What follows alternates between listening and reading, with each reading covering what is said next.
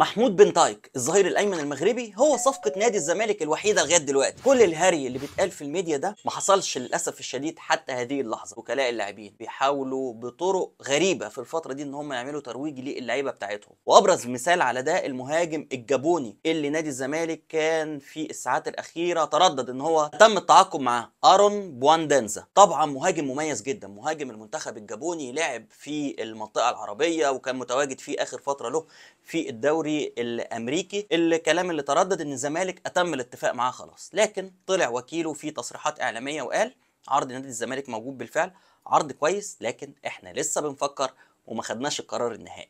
وللأسف الشديد التسريب بتاع المعلومات ده بيدي الفرصة لوكلاء اللاعبين إن هم يعملوا الحركات بتاعتهم دي. إن هم يزودوا في القيمة بتاعه اللعيبة بتاعتهم إن هم يقولوا للأندية التانية الزمالك عارض علينا فها هتدونا أنتوا كام؟ الزمالك عارض كذا. خلاص الزمالك هيموت علينا. ارموا بياضكم بقى. طبعا الكلام ده للأسف الشديد بيخلي الصفقات في الدوري المصري يزيد سعرها بطريقة مبالغ فيها. طبعا هو لاعب مميز جدا والقيمة السوقية بتاعته كبيرة يمكن بتعدي الخمسة مليون يورو ده بالفعل. لكن ده يخلينا نفكر هو ليه جاي مصر رغم إن سعره كبير بالطريقة دي. طبعا هو مهاجم مميز بالتأكيد تردد إن في مشاكل حصلت له في أمريكا ومش عارف اتخانق مع مين وعمل إيه وفي فيديو اتسرب له حاجات غريبة كده لكن لازم كل حاجة زي دي يدرسها نادي الزمالك قبل التفاوض. ولما يتفاوض لما ياخد التوقيع بتاع اللاعب يتكلم بقى في الميديا. مش نتفاوض ونتكلم في الميديا إن إحنا أتمينا التعاقد والصفقة تضيع في الآخر. وده مش لمسؤول الزمالك فقط لا غير. طبعا الميديا برضو القريبة من نادي الزمالك بتأثر للأسف الشديد في بعض الأحيان في إتمام الصفقات. وده برضو بنشوفه مع النادي الأهلي دلوقتي اللي بقاله أكتر يمكن من شهرين بيتفاوض مع محمد علي بن رمضان اللاعب التونسي. اللي آخر الكلام إن النادي المجري بتاعه بعت للنادي الأهلي وأجل موضوع التفاوض ليناير المقبل. آخر محطة كانت للمهاجم الجابوني زي ما قلت لكم في الدوري الأمريكي. كان شارك مع فريقه سينسيناتي في 35 مباراة. سجل فيهم تسع أهداف وعمل خمس تمريرات حاسمة أخرى. طبعا المهاجم الجابوني اللي أنا بتمنى إن نادي الزمالك يتم بالفعل التعاقد معاه لعب في بوردو الفرنسي لعب في هاتاي سبور التركي كانت ليه في تجارب في الوطن العربي بالتأكيد مع العرب القطري والشباب السعودي. زي ما بقول لكم وكيله بيقول لدينا عرض بالفعل من نادي الزمالك لكن لم يتم التوصل لاتفاق حتى الآن الأمور جيدة. لكن لم نقرر بعد نناقش العديد من العروض في الوقت الحالي وسنقرر فيما بعد. وده كلام في رايي الشخصي يخض. طبعا نادي الزمالك بيسعى أيضا لدعم صفوفه بلعيبة تانيين. سمعنا عن عمر فرج المهاجم الفلسطيني اللي الزمالك من المفترض إنه أتم التعاقد معاه بالفعل أو أتم الاتفاق بالفعل لكن لم يتم الاعلان بشكل رسمي حتى هذه اللحظة. الزمالك بيتفاوض مع العديد من اللعيبة المصريين. أحمد حسام الظهير الأيمن للجونة في مفاوضات جادة مع إدارة ناديه أيضا محمود جهاد لاعب خط الوسط المميز لنادي فاركو لكن نادي فاركو طالب 25 مليون جنيه مصري رقم كبير بالتأكيد. ونادي الزمالك لما لقى نادي فاركو عايز 25 مليون جنيه قال طب ادوهونا إعارة سنة ونحط بنية البيع ونحط رقم.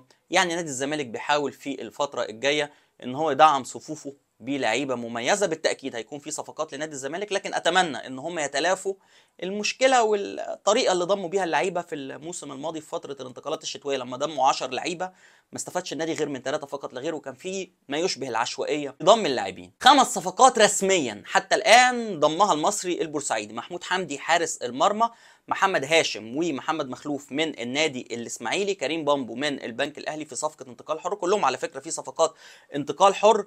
وأخيرا خالد الغندور لاعب خط وسط الاتحاد السكندري وكان قائد الاتحاد السكندري لاعب مميز برضه في صفقة انتقال حر. المصري البورسعيدي من المفترض إن هو أتم اتفاقه مع لعيبة أفارقة برضه هيجوا خلال الساعات القادمة. في المهاجم السنغالي مهاجم فريق المغرب التطواني بابي بادجي اللي من المفترض إن المصري بينتظر وصوله لمصر علشان يتم الانتقال بتاعه. في لاعب برضه أفريقي آخر مستر كامل أبو علي أكد إن المصري هيحاول على قد ما يقدر إن هو يعمل صفقات لكن مش هتكون صفقات كتيرة. هنحاول إن إحنا نسد الثغرات اللي موجودة في الفريق وهنحاول إن إحنا نلبي طلبات الكابتن علي ماهر وأكد إن إحنا منفتحين على العروض اللي ممكن تيجي للاعبينا لكن في يعني حالات معينة جدا وحالات ضيقة جدا. لغاية دلوقتي محمود جاد مكمل أحمد عيد مكمل اللي ظهر بمستوى كويس مع المنتخب الأولمبي. لكن لو في عروض جادة بأرقام حقيقية ممكن نفكر فقط لا غير. طبعا نادي بيراميدز في الساعات القليلة الماضية عمل صفقة في رايي الشخصي من العيار الثقيل صديق أوجولا اللاعب الجناح وصانع الألعاب النيجيري المميز جدا. واحد من أفضل صناع اللعب المتواجدين في الدوري المصري بالأرقام وبالوثائق وبالتسجيل وبكل حاجة. اللاعب مميز جدا وبيراميدز هيضم لصفوفه عشان يدعم مركز الجناح كان ضم عبد الرحمن مجدي برضو من الإسماعيلي وبالتالي صفقات بيراميدز مميزة لغاية دلوقتي وبالفعل هتضيف للسكواد بتاع الفريق. لكن في المقابل بيراميدز هيدفع لسيراميكا كيلوباترا مبلغ مادي وأربع لعيبة. سيراميكا كيلوباترا بالفعل هيضمهم خلال الساعات القادمة وأتم بالفعل الاتفاق معاهم. كل حاجة ممكن تحصل لكن إحنا بنقول اللي بيحصل لغاية دلوقتي أو اللي حصل لغاية دلوقتي بالفعل مين الأربع لعيبة دول؟ لعيبة مميزة جدا على فكرة آه، محمد رضا بوبو لاعب خط الوسط فاكرينه اللي كان في فيوتشر. ما ظهرش مع بيراميدز كتير. يوسف اسامه نبيه طبعا لاعب نادي الزمالك السابق. عبد الله مجدي لاعب آه، مصر المقصه السابق. وفخري لاقاي المهاجم الجنوب أفريقي القوي المميز اللي برضه هيعمل إضافة كبيرة للسكواد بتاع سيراميكا كليوباترا. ودي الصفقات اللي بتكون مميزة فعلا. أنت تطلع لاعب واحد من عندك تكون يعني بالتأكيد مؤثر لكن لما تاخد فلوس وتضم أربعة هيكونوا مؤثرين. شيء كويس جدا بالتأكيد. وهنا عايز أجاوب على سؤال لجماهير النادي الإسماعيلي. طب ما عبد الرحمن مجدي مشي من الإسماعيلي ومفيش لعيبة جت. ليه طيب ما خدناش اتنين على الأقل أو ثلاثة أو أربعة زي اللي خدهم سيراميكا كليوباترا؟ لأن الموضوع زي ما قلت لكم قبل كده إن هو شقين. ممكن بيراميدز على فكرة يقول للإسماعيلي خدوا اللي أنتوا عايزينه لكن هل النادي الإسماعيلي هيقدر على التعاقد الشخصي ما بينه وما بين اللاعب؟ اللعيبة دي ممكن تاخد 10 مليون في السنة. والنادي الإسماعيلي دلوقتي بيتكلم في 4 و5 و6 مليون في السنة ده بحد أقصى دي الفئة الأولى. وبالتالي الموضوع صعب جدا. وإدارة النادي الإسماعيلي الناس بتقول لي أنت بتدافع عنها؟ لا أنا ما بدافعش عنها. أنا بتكلم عن ظروف. ادوهم الأدوات دخلوهم.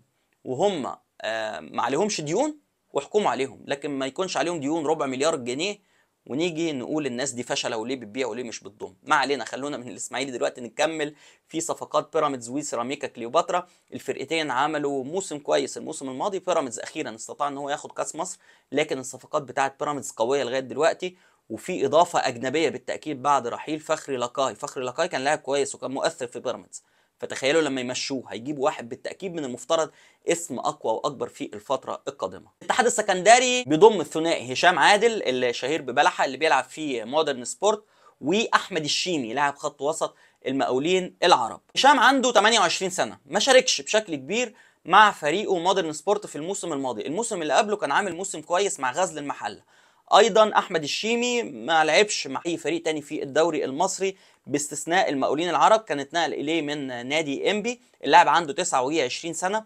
إضافات لغاية دلوقتي في رأيي الشخصي للاتحاد السكندري فيها مخاطرة. طبعا بعد ضم مروان داوود الظهير الأيسر من إنبي على سبيل الإعارة لمدة موسمين أو موسم وموسم لأن اللائحة بتاعت الاتحاد المصري لكرة القدم بتقول ما ينفعش تعير نفس اللاعب لنادي لمدة موسمين أو لنفس النادي لمدة موسمين. وبالتالي المسؤولين بتوع الاتحاد وإنبي قالوا لا هم مش موسمين ولا حاجة هم موسم وهيتم تجديد موسم آخر.